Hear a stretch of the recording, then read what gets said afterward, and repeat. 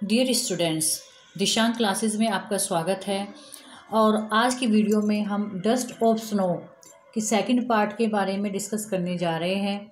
Dust of snow UP board की class tenth की poem है। फ़र्स्ट पोयम है जो रॉबर्ट फ्रोस्ट के द्वारा लिखी गई है।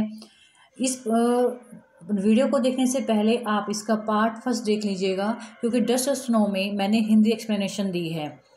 इस वीडियो में आज हम हिंदी एक्सप्लेनेशन की मदद से डस्ट ऑप्शनों के क्वेश्चन आंसर को सोल्व करेंगे। देखिए क्वेश्चन आंसर सोल्व करना कितना इजी है। कुल आठ लाइन की पोएम दी गई है। उन आठ लाइन की पोएम की मदद से आप बीस से पच्चीस क्वेश्चन सोल्व करेंगे। इससे पहले मैं आपको बता दूँ कि आप बार बार कुछ शब्दों को देखेंगे। आपको क्वेश्चन आंसर निकालने के लिए इसमें से कुछ आठ से दस वर्ड है। उनको याद करना है।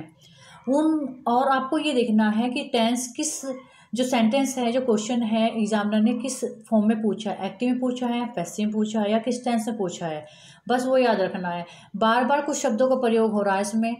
क्रो का है हेमलेट ट्री है डस्ट ऑफ़ स्नो है पोयट है। सैड है डिप्रेसिव मूड में था। जो मैंने ये वर्ड बोले हैं ना, अब आप देखेंगे इन्हीं वर्ड की मदद से आप जो है पंद्रह से बीस क्वेश्चन सोल्व कर लेंगे। आइए देखते हैं कैसे। ये आपकी पोयम है। आठ लाइनें की, लेकिन इन आठ लाइनों का हमें आज कोई भी डिस्कशन नहीं करना है। सीधे हम क्वेश्चन पर चलते हैं। क्वेश्चन दो तरीके से पूछे जाएँगे। जैसे कि मैं पहले ही बताया था, कुछ क्वेश्चन होते हैं स्टेंजर बेस्ड क्वेश्चन जो आपको स्टेंजर के अकॉर्डिंग ही आंसर देने हैं, और कुछ कॉमन क्वेश्चन होते हैं, जिनके आपको जवाब देने होते हैं। कॉमन क्वेश्चन वे, उनके आंसर जस्ट जो वहाँ पर स्टेंजर में दिया होता है, उसके अकॉर्डिंग चेंज हो जाएगा। आइए, पहले हम स्टेंजर बेस्ड क्वेश्चन की बात करते हैं।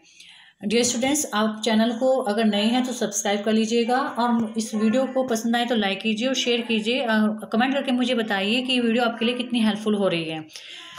और जिसने वीडियो इसका फ़र्स्ट पार्ट नहीं देखा है, वो ज़रूर देख लीजिएगा, तभी आपको ये क्वेश्चन आंसर समझ में आएँगे। फ़र्स्ट क्वेश्चन है where did the crow sit what did it do तो क्वेश्चन है कि where did the crow sit कौवा कहाँ बैठा था और उसने क्या किया? दो क्वेश्चन एक साथ पूछे हैं। जैसे कि आप जानते हो, हिंदी एक्सप्लेनेशन में भी आपको बताया था, उसी की मदद से आप आंसर निकाल पाओगे। जो कौवा होता है, वो हेमलॉक ट्री के ऊपर बैठा, क्योंकि ये पाँच इंडेफिनिट में है तो sat the crow sat on a hemlock tree hemlock tree के ऊपर बैठा और उसने सुक डाउन, पास इंडेफिनिट किया a dust of snow on the poet कवि के ऊपर उसने क्या किया? जो बर्फ़ की जो कणें होती है, धूल होती है, उसके ऊपर झाड़ा, उसको हिला दिया। सेकेंड क्वेश्चन है वो does the dust of snow remind you of ये बड़ा इजी क्वेश्चन है एल के जी यू जी क्वेश्चन है। जैसे जब हम उनको सीज़न लर्न कराते हैं, तभी पूछते हैं कि भाई बर्फ़ कब पड़ती है? तो बच्चा बताता है, जब ठंड होती है तो बर्फ़ पड़ती है। उसी तरह से क्वेश्चन पूछा गया है कि the dust of snow reminds us वो क्योंकि प्रजेंट इंडेफिनिट का प्रयोग था तो यहाँ पर ऐसे यूज़ किया reminds us of the cold and gloomy winter जो डस्ट ऑफ़ स्नो है, वो हमें ठंडी और बहुत ही सर्द, सर्दी की याद दिलाता है। थर्ड क्वेश्चन है what was the effect of snow on the poet यहाँ पर कहते हैं कि स्नो का कोई, कवि के ऊपर क्या इफ़ेक्ट पड़ता है? जैसे कि आप जानते हो, जब एक्सप्लेनेशन मैंने आपको बताई थी तो कवि बहुत उदास था, परेशान था, और जैसे उसके ऊपर स्नो गिरती है तो उसका मूड चेंज हो जाता है। आइए इंग्लिश में देखते हैं। यहाँ पर क्या है? पास्ट में है तो यहाँ आंसर भी पास्ट में होगा। The dust of snow fell on the poet and his mood was change जैसे उसके ऊपर वो गिरती है तो कवि का मूड चेंज हो जाता है। चेंज हो गया। What is the dust of snow ये भी आपका जनरल क्वेश्चन है। इसमें कई पोएम्स में तो दिया नहीं है कि what is the dust of snow snow की डस्ट क्या होती है? जैसे कि आप जानते हो कि बर्फ़ की जो छोटे छोटे धूप कण होते हैं ना, बहुत हल्के हल्के से वही आपकी डस्ट ऑफ़ स्नो होते हैं। देखिए यहाँ पर दिया हुआ है the dust of snow is the powdery form powder की फॉर्म में होती है किसकी? स्नो की, बर्फ़ की। It falls in light white flakes light मानी हल्के वाइट सफ़ेद फ्लैक्स टुकड़े। ये हल्के सफ़ेद टुकड़ों के ऊपर गिरती है। question number 5 वो does the dust of snow stand for तो यहाँ क्वेश्चन पूछ रहा है एग्जामिनर कि dust the dust of snow किसके, किसका प्रतीक है? स्टैंड फॉर किसका प्रतीक है? तो आप भी जानते हो जो डस्ट ऑफ़ स्नो होती है, वो किसका प्रतीक होता है? वो होप एंड जोए का होता है। किसके? इन द मिडेस्ट ऑफ़ सोरो क्योंकि कभी क्या था? परेशान था, निगट था डिप्रेशन में था और जैसे ही डस्ट ऑफ़ स्नो उसके ऊपर गिरती है तो उसे होप आती है कि नहीं, वो सोचता है कि मेरा दिन बहुत ख़राब हो गया आज का दिन पूरा ख़राब हो गया लेकिन जैसे ही उसके ऊपर ऑफ़ स्नो गिरती है तो उसके अंदर एक आशा आती है। और उस आशा में ये सोचता है कि नहीं, मेरा दिन खराब नहीं हुआ है। और वो आनंदित, वो सोचता है कि जो मेरे ऊपर डस्ट ऑफ़ स्नो गिरी हुई है तो मैं उसको आनंद ले रहा हूँ। तो यहाँ पर जो प्रतीक है डस्ट ऑफ़ स्नो वो होप एंड जॉय का है। नेक्स्ट क्वेश्चन है in which mood do you think poet was अब देखिए, यहाँ पर प्रजेंट का भी यूज़ किया है और पास्ट का भी किया है। प्रजेंट का तो आपके लिए पूछा है कि आप क्या सोचते हैं, क्योंकि हम तो प्रजेंट में हैं और कभी क्या था पास्ट में? तो दोनों ही तरह हमको आंसर देंगे। आई थिंक प्रजेंट में जवाब दिया। The poet was in the depressive sad and regretful मैं आपको चीज़ बता रही हूँ तीन चार वर्ड है। अब ये जो वर्ड दिया है ना यहाँ पर डिप्रेसिव सैड एंड रिगर्टफुल इस तरह इस ही तीनों शब्दों से आगे कहीं क्वेश्चन सोल्व हो रहे हैं। तो ज़रूरी नहीं है, आप तीनों ही वर्ड एक साथ यूज़ करो। आप खाली एक वर्ड भी यूज़ कर सकते हो कि पोएट जो है दुखी था, या रिगर्टफुल था, या डिप्रेसिव था। इन दोनों में से आप कोई भी यूज़ कर दोगे, तीनों कर देंगे तो और ज़्यादा इफ़ेक्ट आता है। सोरो लिख दोगे तो भी आप, कोई वो बात नहीं आएगी। तो मेरा कहने का मतलब है कि आपको कुछ वर्ड्स याद करने हैं, और उन्हीं वर्ड्स के आधार पर आप सारे क्वेश्चन के जवाब देते चले जाओगे। नेक्स्ट है who change poet's mood and how अभी पास्ट में आया है कि कवि का मूड किसने बदला? आप बताओ। सिंपल है। फ़र्स्ट ही लाइन में दिया हुआ है कि जो कौवा होता है the crow changed it it यहाँ पोएट के लिए यूज़ किया है। आप यहाँ पोएट भी यूज़ कर सकते हैं। The crow change poet's mood तो पोएट्स मूड की जगह यहाँ पर इट यूज़ किया by shaking down the dust of snow तो वो कैसे करता है? कौवे ने चेंज किया। किस कैसे किया? कि जो ऑफ़ स्नो है, उसको हिलाते हुए, उसके ऊपर गिराते हुए कवि का मूड चेंज किया। Question number eight what has given a change of mood and to whom same question just घुमा कर पूछ लिया उन्होंने। सेम क्वेश्चन है। तो a crow shook down a dust of snow from a hemlock tree अब यहाँ ज़रूरी नहीं आप हेमलॉक ट्री लगाओ। अगर क्वेश्चन आपको आंसर थोड़ा लंबा करना है तो आप पूरी डिटेल लिख दो। अगर आपको जस्ट एक लाइन में देना है कि आपके पास टाइम कम है तो आप एक यहाँ तक भी कर दोगे ना आंसर कि a crow shook down a dust of snow on the poet's and this change the mood of the poet same question यहाँ पर था, ये देखिए the crow change it by shaking down the dust of snow तो question पूछने की form क्या है? यहाँ पर एक्टिव में थी या प्रजेंट पैसिव में थी तो आपको आंसर भी ऐसे ही देना होगा। How was the poet spending his day before the change of mood अब यहाँ क्वेश्चन पूछा सेम चीज़ें आएगी यहाँ पर। कि पोएट जो है, जब उसका पोएट का मूड चेंज होता है, उससे पहले कभी अपना दिन कैसे व्यतीत कर रहा था? तो वो जो तीनों वर्ड थे, फिर आ जाएँगे। I think the poet was in a depressive sad and regretful mood तो वो कहीं कौन से मूड में था? डिप्रेसिव और सैड मूड में था। Which word in the stanza means repented ये भी एक कॉमन क्वेश्चन का भाग है। मैंने यहाँ पर भी ले दिया। तो ये कहते हैं कि कौन से वर्ड का मीनिंग जो रिपेंटेड है? तो आपकी जो पोएम का लास्ट वर्ड है ना रूड उसका मतलब होता है रिपेंटेड अलेंट में हम बात करते हैं whose heart has been mentioned in this stanza जैसे कि जब मैंने आपको वीडियो पहले बताई थी कि क्वेश्चन चुटकियों में आप पोयम को, के जो क्वेश्चन है, हल करें। वहीं पर मैंने इसको जोड़ा था कि पोयम में कहीं ना कहीं आई ही शी इट दिया हुआ होगा। तो वो आपको समझना होगा कि वो पोयम किसके लिए लिखी गई है और किसके लिए वो यूज़ कर रहा है। जैसे कि इस पोयम के एक्सप्लेनेशन मैं आपको दे चुकी हूँ तो यहाँ कवि ने खुद के लिए पोयम लिखी थी और तो ज़ाहिर सी बात है, जो हर्ट है, वो कवि का हर्ट ही यहाँ पर यूज़ किया गया तो आई जो है poet's heart has been mentioned in this stanza तो कवि का हृदय जो यहाँ पर मेंशन किया गया है। What happen to the heart of the poet वो कह रहा है कि कवि की हार्ट को, मतलब क्या हुआ उसके साथ? क्या घटित हुई?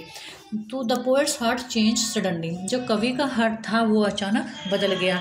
आप इतना सा भी जवाब दे सकते हो और आप यहाँ भी दे सकते हो कि the poet's heart change into hope आशा में बदल गया जॉयफुल हो गया। मतलब आप आंसर ऐसे भी दोगे तो भी सही है और वैसे दे दोगे थोड़ा और बढ़ा के दे दोगे तो भी आपका आंसर सही रहेगा। नेक्स्ट है what did the poet think of that day कवि उस बार के बारे में क्या सोचता था? उसने क्या सोचा उस दिन के बारे में? जो अब देखो यहाँ पर, जो पोएट था, वो दुखी था सैड था। दैट डे उस दिन, और जब फॉलो सुनो, उस जो उसके ऊपर गिरती है तो वो चेंज कर देता है। उसका जो सैड मूड होता है he thought that he had save some part of the day वो सोचते हैं कि नहीं मेरा, जैसे जस्ट ऑप्शन उसके ऊपर गिरती है तो वो सोचते हैं कि नहीं मेरा दिन और अभी बचा हुआ है। मैंने अपने दिन के कुछ भाग को बचा लिया है। एक आशा की किरण उसको नज़र आती है। फिर यहाँ आता है who is I in the sentence and save some part of a day I had rued अब देखो, यहाँ पर आई पूछा है। जैसे कि पहले वहाँ पूछा ना किसका हृदय के बारे में बात की गई है, चूँकि यहाँ कभी अपने लिए लिखता है तो उसके हृदय की बात थी तो जो आई है वो कभी अपने लिए यूज़ करता है तो यहाँ पर I is the poet here. तो अगर यहाँ पर ही, शी होती तो अकॉर्डिंग टू द जिस्ट और समरी तो आप वहाँ पहचान कर लेते कि वो किसके लिए दिया गया है। तो ये भी कॉमन क्वेश्चन का ही पार्ट है। मैंने कॉमन क्वेश्चन में जो मैंने एक वीडियो बनाई हुई है, जो नई व्यूअर है, इस वीडियो पर आया उन्होंने पहले वीडियो नहीं देखी। उसमें मैंने एक वीडियो बनाई है कि कॉमन क्वेश्चन जो पोएम से कॉमन क्वेश्चन पूछे जाते हैं, उनमें मैंने उनका आंसर दिया है। What happen when the dust of snow fell on the poet वो कहते हैं कि क्या होता है जब डस्ट ऑफ़ स्नो कवि के ऊपर गिरती है? सेम क्वेश्चन बार बार रिपीट हो रहे हैं, लेकिन बस क्वेश्चन के पूछने की फॉर्म चेंज हो गई है। When the dust of snow fell on the poet his mood was changed पहले भी आ चुका है चीज़ें। अर्लियर ही वो सेड पहले दुखी था, लेकिन बाद में जब वो गिरती है तो वो चेयरफुल हो जाता है। वहाँ जस्ट मैंने एक छोटी लाइन लिखी थी ना कि चेंज हो जाता है। तो यहाँ उन्होंने क्या बोल दिया? चेयरफुल सेंटेंस को कहने का तरीका बदल गया। जैसे हमें कहते हैं कि मैं स्कूल जा रहा हूँ, मैं स्कूल जाने से नहीं चूकता चूकता हूँ तो जिसका मतलब क्या है? वो भी जा रहा है। तो हम किसी भी बात को कहीं तरीके से कह सकते हैं, वही बात यहाँ पर दी गई है। What side of what side of nature do crow and hemlock represent ये क्वेश्चन बिल्कुल डिफरेंट है और अच्छा क्वेश्चन है। ये पूछता है कि what side of nature do कि जो क्रो है और हेमलेट ट्री है, वो नेचर का कौन सी साइड प्रजेंट करते हैं? क्योंकि आप जानते हैं कौवा को अच्छा नहीं माना जाता, आप शकुन का प्रतीक माना जाता है, उसकी जो वॉइस होती है वो बड़ी कर्कश होती है और हेमलेट ट्री जो होता है वो एक धतूरा का पेड़ होता है और ये एक जहर का, का पेड़ के रूप में जाना जाता है। इसलिए दोनों जो वर्ड हैं वो डार्कनेस मतलब डार्क है डिप्रेसिव और सोरोफुल और बिटर साइड ऑफ़ नेचर जो नेचर है प्रकृति की वो अंधेरा तनाव दुखी और कड़वाहट जो साइड है उसको रिप्रेजेंट करता है। ये क्वेश्चन आप याद कर लीजिएगा डिफरेंट क्वेश्चन है। अब आते हैं कॉमन क्वेश्चन की बात करते हैं। जैसे, आपको पता ही है कॉमन क्वेश्चन अगर आपको एक क्वेश्चन ये आ गया आपके चार नंबर क्वेश्चन पूछे जाते हैं, यानी दो दो नंबर के दो।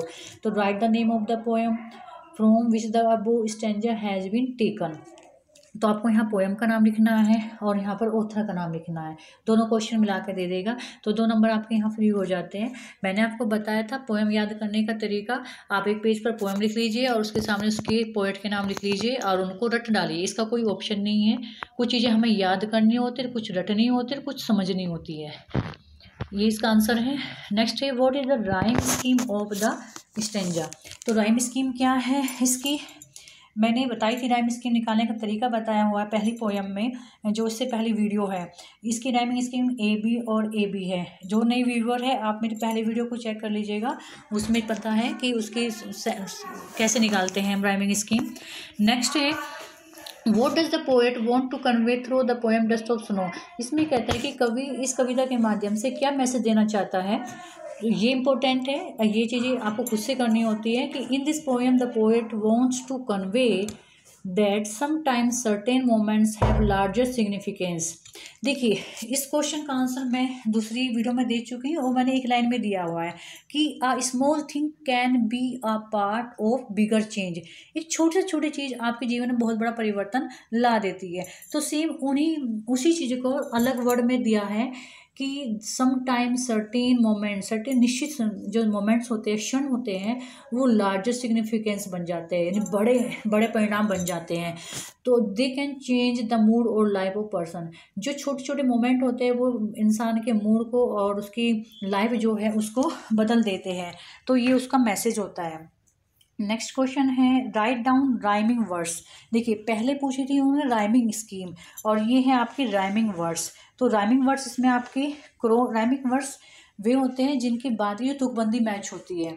तो तुकबंदी हो रही है क्रो स्नो मी ट्री जो बाद में ध्वनि आती है हार्ट पार्ट मूड रूट तो ये वर्ड हैं जो आपके राइमिंग वर्ड्स वाले हैं। ये बड़े इजी होते हैं, अगर ये आते हैं ना तो आपको दो नंबर फ्री के मिल जाते हैं।